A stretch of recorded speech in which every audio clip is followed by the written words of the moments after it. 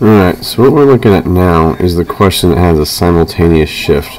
Remember, there are four possibilities, and drawing it out is going to be your best thing to do. Because you could have demand up, supply up, demand and supply down, demand up, supply down, or demand down and supply up.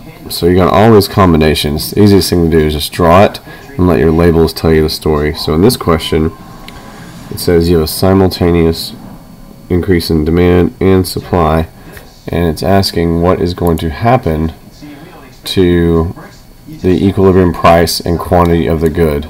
Okay, the equilibrium part is scaring some people off. Remember, that's just where they cross. Okay, so we have demand increase. Remember, we always shift to the right. And then we have supply increase.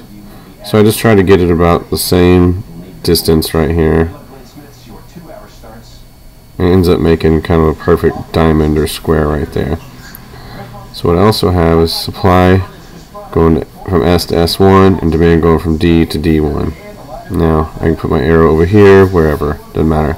So now where demand and supply cross, that is equilibrium. So our equilibrium price, look how it goes almost straight through the old one. So what that tells us is that the supply and the demand can change, but that's not going to change the price.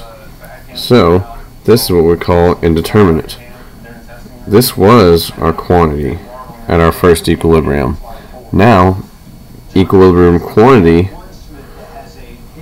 is going to end up increasing because look, it's to the right of this one. So now our equilibrium quantity has gone up and price is indeterminate. That means it just didn't do anything. So when I say let the labels tell the story, that's what that means. I can see that quantity went up. I see that price went nowhere. Okay, so that's a simultaneous shift of demand and supply.